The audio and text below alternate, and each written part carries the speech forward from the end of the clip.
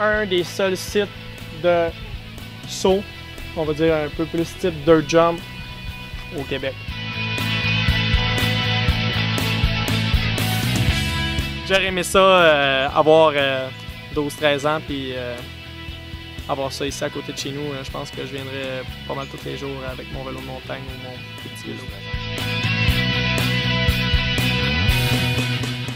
Belle diversité, c'est tout complémentaire. C'est ce qui permet d'offrir des produits vraiment complets et diversifiés. Chaque produit est unique.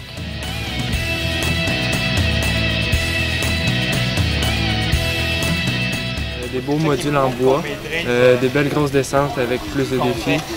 Euh, puis ici, une belle piste de BMX, il y a de quoi à s'amuser.